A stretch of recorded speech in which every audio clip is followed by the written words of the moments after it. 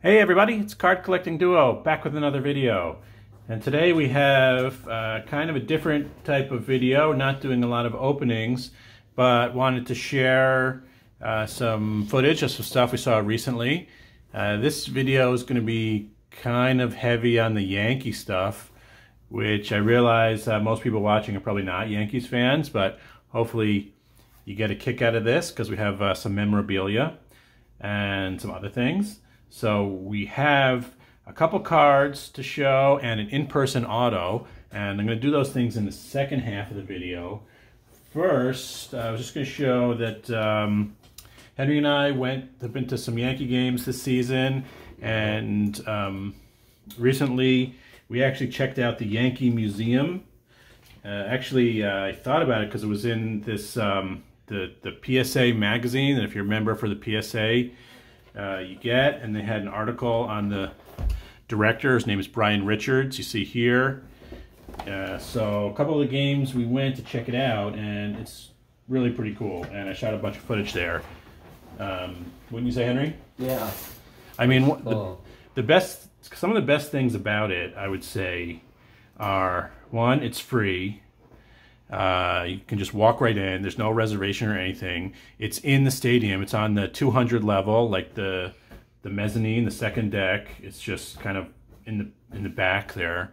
Uh, it's not that crowded. Not a lot of people know about it, and it's air conditioned. So when it's really hot there, or if it's raining, you go in there. It's nice, air conditioned. You can spend all the time you want, um, and uh, it's it's a lot of fun to see things. So here are some uh, little clips of what they have there. They have this whole, one part of it is this uh, a whole uh, arrangement of autographed baseballs, which I took some footage of them. And then they have some cards and other memorabilia. And the, the director, this guy Brian Richards, was there. We spent some time talking to him. A lot of time. He talked to me and Henry about um, where he got a lot of the stuff. He did not want to go on camera which is fine. But you can see in part of the video, you can see like him, the back of him talking to some, uh, and, and, he's talking to some of the other uh, people who are visiting.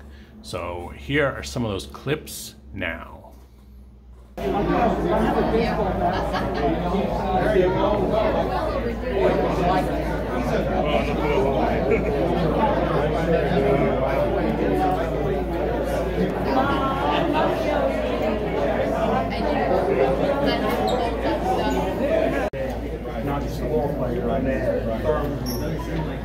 Step above.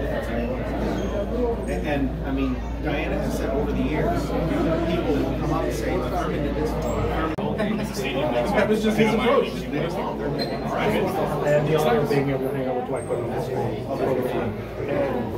And pretty much of that success. What was the DiMaggio? Like over five. And, and, and George was the same. I don't know. I don't want to hear about this thing. This is an guy. I'm pretty sure. I mean, after he died, so many paid my child's surgery and they didn't have health insurance. Over and over. And it, it, it's a shame that we couldn't revere him. Step out here, so I don't want to block anybody's way. We, sorry, guys, I got a bad habit of doing that. We couldn't revere him Yeah. before, but I also He didn't want that. He didn't want that. Didn't. He wanted to be the president, but he took care of everybody. himself. And he could have. You know, so look what I do. He could have eased so much pressure. That wasn't even Yeah. in his mind. I grew up near Williamsport. Okay. And after he passed away, a lady published a letter in the paper. She said, in the early 90s, I was a single mom. I had two little kids who loved baseball. I was working hard. I didn't have money. But we really scraped together a couple of hours to get an opportunity. My kids planned out who was to pitch. They were so excited when we were there. We bought a couple of less expensive souvenirs. Sure, sure. You know, and my kids were just so happy with this treasure. They walked over to Yankee Stadium the other day. Yeah. So we walk out. Some guy said, "Brad, back." So my kids cried the whole way home. And she said, I just knew it. I sent a letter to the Yankees. And I said, this happened at your ballpark, and your security.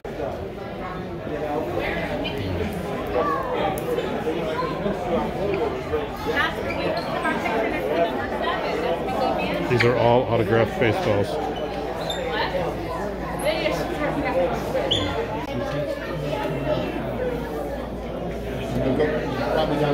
Catfish Hunter.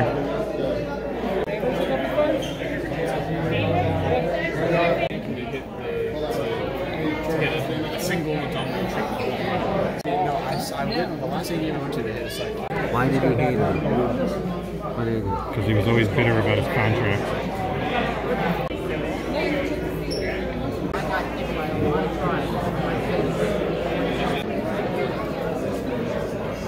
Tita Martinez. She said.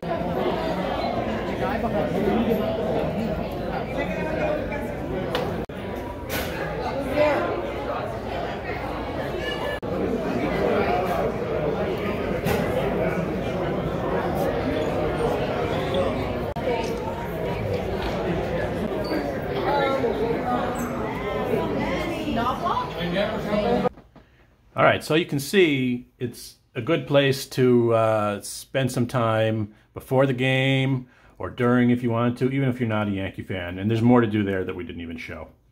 All right, now next part. Okay, so now uh, some other things. We have uh, a couple cards here, uh, an eBay pickup, and um, another one. Actually, Henry and I went to another uh, Hudson Valley Renegades game, which is the single A affiliate of the Yankees, High A. Anthony Volpe is now there.